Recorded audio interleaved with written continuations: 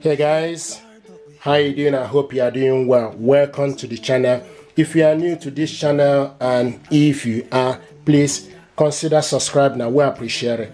Thank you very much. This is epson workforce wf2950dwf this printer is multifunctional printer with automatic document feeder can copy scan print and fax with this printer you can also connect this printer to Wi-Fi network, Wi-Fi direct.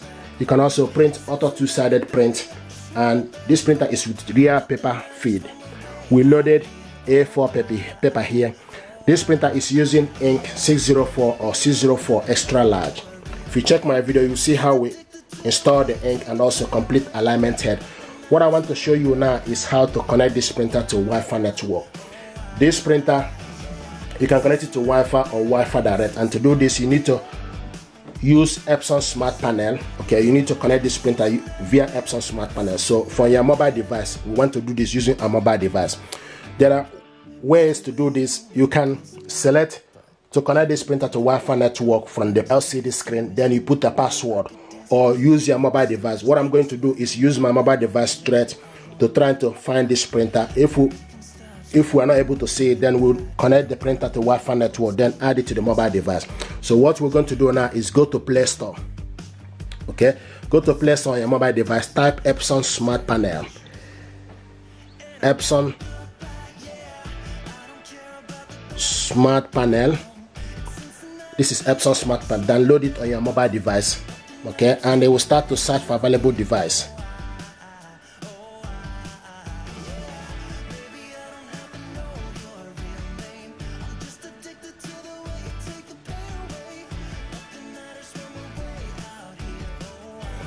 now this is Epson smart panel. So what you need to do is you need to to look for this printer you need to add plus. Go to the plus sign.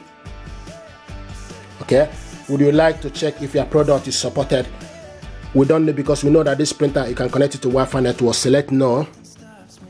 Now it's asking you to set up a new product or connect a product already on the Wi-Fi. So select set up a new product. Okay? And it will ask you thank you for choosing your Epson's products.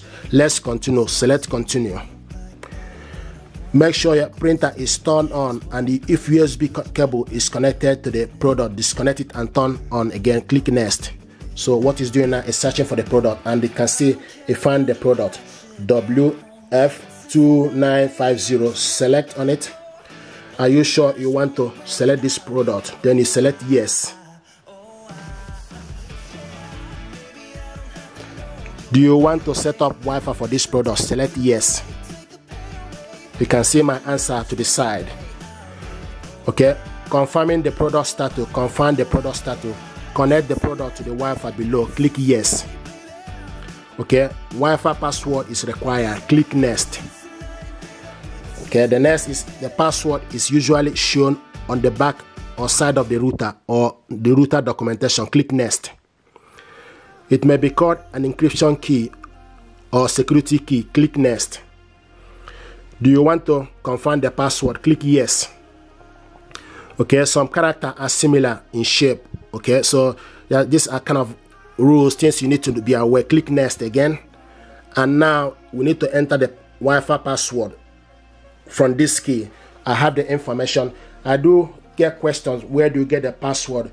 Like I said, you get the password from the back of your router. Okay, the same password you use for your mobile device or Wi-Fi at home is what you're going to do use. So what I'm going to do is I'm going to put the password, but also I want to mention you need to be mindful of the password. Case is case sensitive. If you ask you to put capital letter, you need to do the sentence. If you ask you to put small letter, please do. Okay, so I'm going to put the password, then get back to you. Another thing is you can use the I sign to check for the password you are putting if it is correct.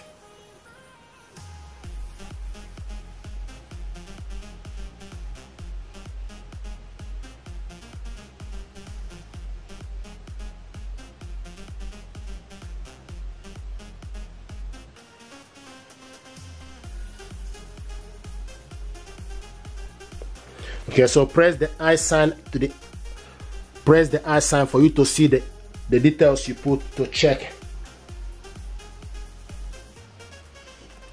okay and i'm happy with the information that i put here. I'm happy with it okay? So once once you're done the next you need to do is need to select okay okay? And it will ask you do you want to connect the printer to the following wi-fi? Click yes okay? Wait until the product wi-fi setup is complete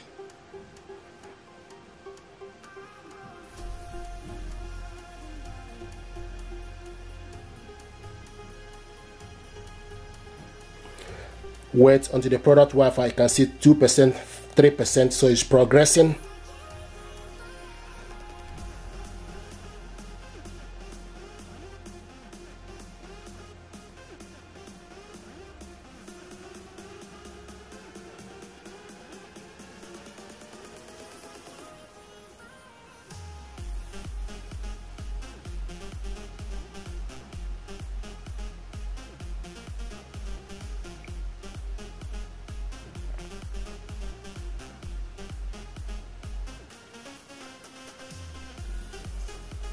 that 3% so it's progressing.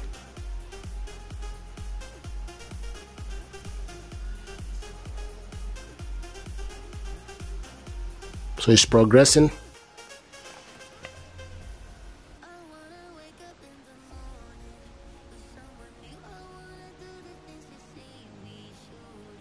Can see 100%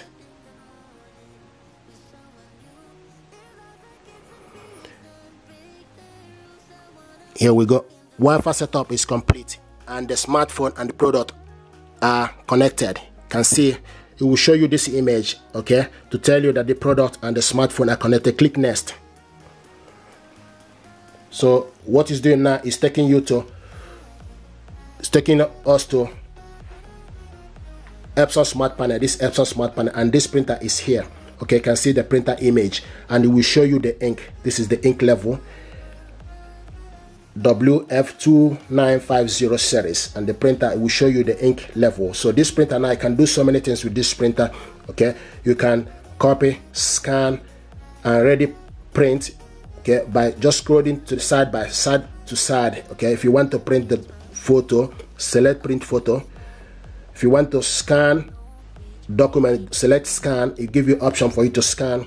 If you want to copy select copy. So now this printer is ready okay so this is how to set up this printer. Thank you very much. This is how to set this printer up. Thank you very much. And stay blessed